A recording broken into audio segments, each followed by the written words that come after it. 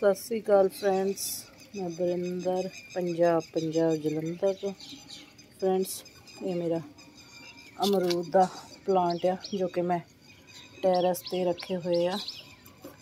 ਇਹ ਹਾਈਬ੍ਰਿਡ ਅਮਰੂਦ ਦਾ ਪਲਾਂਟ ਆ, ਜੋ ਕਿ 1 ਈਅਰ 올ਡ ਆ। ਫਸਟ ਟਾਈਮ ਇਸ ਨੂੰ ਫਲਾਵਰਿੰਗ ਹੋਏਗੀ। ਆਪ ਦੇਖ ਸਕਦੇ ਹੋ। ਕਿ ਵਰਡਸ ਬਣ ਚੁੱਕੇ ਆ। ਕੋਈ ਜ਼ਿਆਦਾ ਕਾਊਂਟਿੰਗ ਦੇ ਵਿੱਚ ਤਾਂ ਵਰਡਸ ਨਹੀਂ ਬਣੇ।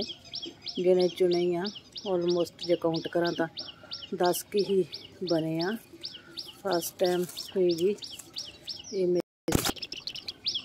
ਇਹ 10 20 ਇੰਚੀ ਵਾਲੀ ਬਾਲਟੀ ਹੈ ਜੋ ਆਪਣੇ ਪੇਂਟ ਵਾਲੀ। ਉਹਦੇ ਵਿੱਚ ਲੱਗਾ ਹੋਇਆ ਹੈ ਇਹ ਪਲਾਂਟ ਜੋ ਕਿ ਫਰੈਂਡਸ ਮੈਂ ਪਾਣੀ ਦੇਣ ਆਈ ਸੀ ਟੈਰਸ ਤੇ ਤੇ ਸੋਚਿਆ ਕਿ ਚਲੋ ਵੀਡੀਓ ਬਣਾ ਲਈਏ। ਕੋਈ ਜ਼ਿਆਦਾ ਹੈ ਨਹੀਂ ਸੀਗਾ ਤੇ ਦਿਖਾਉਂਦੀ ਆ ਉਸ ਤੋਂ ਅਗਲਾ ਪਲਾਂਟ ਮੇਰਾ ਨਿੰਬੂ ਦਾ ਹੈ ਫਰੈਂਡਸ ਇਹ 3-4 ਸਾਲ ਪੁਰਾਣਾ ਪਲਾਂਟ ਹੈ 3-4 ਸਾਲ ਵਿੱਚ ਇਸਨੇ ਮੈਨੂੰ ਬਹੁਤ ਜ਼ਿਆਦਾ ਫਰੂਟਿੰਗ ਦਿੱਤੀ ਹੈ ਬਹੁਤ ਜ਼ਿਆਦਾ ਕਿ 3 ਸਾਲ ਤੋਂ ਇਹ ਸੋਚ ਸਕਦੇ ਆ। ਮੈਂ ਕਦੀ ਵੀ ਬਾਹਰੋਂ ਨਿੰਬੂ ਪਰਚੇਜ ਨਹੀਂ ਕੀਤੇ। ਮੈਨੂੰ ਆਪਣੇ ਹੀ ਘਰ ਤੋਂ ਮਿਲ ਜਾਂਦੇ ਆ। ਇਸ ਟਾਈਮ ਆ ਕਿ ਥੋੜੇ ਲੇਟ ਫਲਾਵਰਿੰਗ ਹੋਈ ਆ, ਕਿਉਂਕਿ ਪਹਿਲਾਂ ਸਰਦੀਆਂ ਕਰਕੇ ਮੈਨੂੰ ਸ਼ੇਡ ਵਿੱਚ ਰੱਖਿਆ ਹੋਇਆ ਸੀ। ਇਸ ਤਦ ਹੁਣ ਮੈਨੂੰ 1 ਮਹੀਨੇ ਤੋਂ ਬਾਹਰ ਰੱਖਿਆ ਆ ਤੇ ਇਹਦੀ ਗਰੋਥ ਫਲਾਵਰਿੰਗ ਸਟਾਰਟ ਹੋ ਚੁੱਕੀ ਆ। ਦੇਖ ਸਕਦੇ ਆ।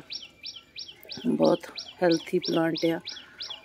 ਔਰ ਇੰਨਾ ਸਾਰੇ ਪਾਸੇ ਕਲੀਆਂ ਨਾਲ ਭਰਿਆ ਹੋਇਆ ਆ, ਜੋ ਕਿ ਜਲਦੀ ਹੀ ਫਰੂਟਿੰਗ ਦੇ ਵਿੱਚ ਕਨਵਰਟ ਹੋ ਜਾਏਗਾ। ਇਸ ਪਲਾਂਟ ਨੇ ਕਦੀ ਵੀ ਮੈਨੂੰ ਨਾਰਾਜ਼ ਨਹੀਂ ਕੀਤਾ। ਇਹ ਵੀ ਸੇਮ ਉਨੀ ਹੀ ਵੱਡੀ ਬਾਕਟ ਦੇ ਵਿੱਚ ਲੱਗਿਆ ਹੋਇਆ ਆ। ਮੈਂ ਟੈਰਸ ਤੇ ਫਰੂਟ ਪਲਾਂਟ ਹੀ ਗਰੋ ਕਰ ਰਹੀ ਆ ਬਾਕੀ ਕਨੇਰ ਵਗੈਰਾ ਵੀ ਰੱਖੇ ਹੋਏ ਆ, ਉਹ ਸਾਹਮਣੇ ਫਰੰਟ ਤੇ ਰੱਖੇ ਹੋਏ ਆ।